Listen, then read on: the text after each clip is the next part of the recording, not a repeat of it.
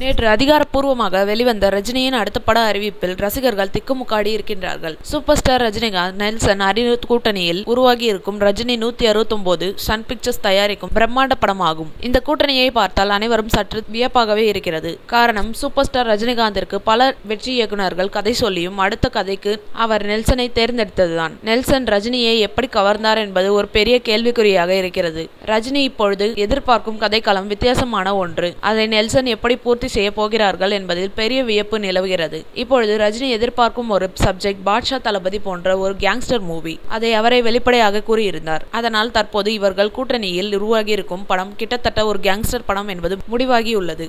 Nelson எப்படி ரஜினிக்கு ஏற்ப கேங்ஸ்டர் படம் கொடுப்பார் என்பதுதான் இப்பொழுது கோடம்பாக்கம் வட்டாரத்தில் பேசு பொருளாக இருக்கிறது. படத்தில் அனிருத் வேற இருக்கிறார். இந்த மாதிரி படத்திற்கு அவரின் இசைதான் தூக்கலாக இருக்கும். அதனால் அனிருத்தை அமைத்ததும் ஒரு சிறப்பம்சம் எது எப்படியோ பழைய பாட்ஷா தளபதி கேங்ஸ்டர் சாயலில் அடுத்து ரஜினியை பார்க்க ஆவலாக இருக்கிறார்கள் ரசிகர்கள். அடுத்து சன் பிக்சர்ஸ் கையில் எடுத்த இந்த திரைப்படம் நிச்சயமாக ரசிகர்களுக்கு ஒரு விருந்தாகவே அமையும் என்பதில் சந்தேகமில்லை. விஜயின் அடுத்த படமான பீஸ்டுக்கு அனிருத் இசையமைத்து இருக்கிறார் முதல் சிங்கிள் அரபிக்குத்து பற்றிய புரோமோ சமீபத்தில் வெளி வெளிவந்து மிகப்பெரிய எதிர்பார்ப்பை ஏற்படுத்தி இருக்கிறது இந்த பாடல் இன்று காதலர் தின ஸ்பெஷலாக வெளிவர இருக்கிறது. அரபிக்குத்து பாடலை கேட்ட பிறகு விஜய் ரியாக்ஷன் என்ன என்பது பற்றி தகவல் வெளியாகி இருக்கிறது அந்த பாடல் விஜய்க்கு அதிகம் பிடித்துவிட பாடல் லிரிக்ஸ் எழுதிய நடிகர் சிவகார்த்திகேயனுக்கு நன்றி கூறினாராம். நெல்சன் திலீப் குமார் இயக்கத்தில் உருவாகி வரும் திரைப்படம் பீஸ்ட் இப்படத்தில் விஜய் பூஜா ஹெக்டே உள்ளிட்ட பலரும் நடிக்கின்றனர். இந்நிலையில் அரபிக்குத்து பாடலில் விஜய் மற்றும் பூஜா ஹெக்டே இருவரும் இணைந்து ரொமான்டிக் நடனம் ஆடியுள்ளார்கள். அரபிக்குத்து பாடல் பல சாதனைகளை படைத்து வருகிறது. இந்த வீடியோ பிடிச்சிருந்தால் லைக் பண்ணுங்க ஷேர் பண்ணுங்க சப்ஸ்கிரைப் பண்ணுங்க.